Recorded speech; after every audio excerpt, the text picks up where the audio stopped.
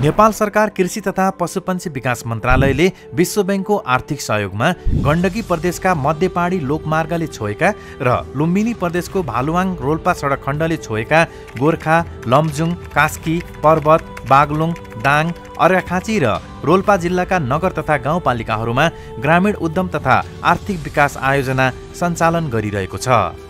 आयोजना क्षेत्रका योग्य उत्पादक संस्था र खरिदकर्ताहरूलाई उत्पादनमूलक साझेदारी अन्तर्गत स्टार्टअप अनुदान उपायोजना सञ्चालनका लागि प्रोफाइल पेश गर्न सूचना प्रकाशन गरिएको छ।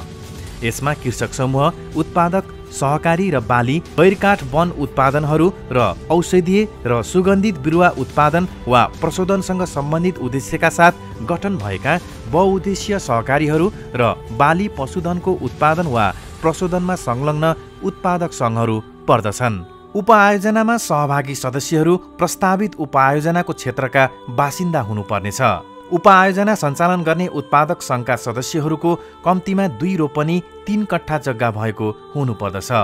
उपआयोजनामा संलग्न हुन चाहने सदस्यहरू कम्तीमा पन्ध्रजना हुनुपर्दछ।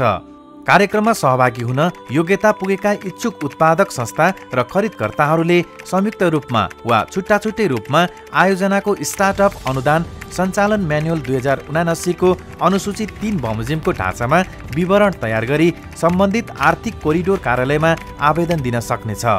दुई हजार असी जेठ नौ गते कार्यालय समयभर आर्थिक कोरिडोर कार्यालयहरूमा आवेदन पेश गर्नुपर्नेछ। संयुक्त प्रोफाइल पेश गर्न दुई हजार उनासी साल फागुन नौ गते सार्वजनिक सञ्चार माध्यममा प्रकाशित विज्ञापन हेर्नुहोला।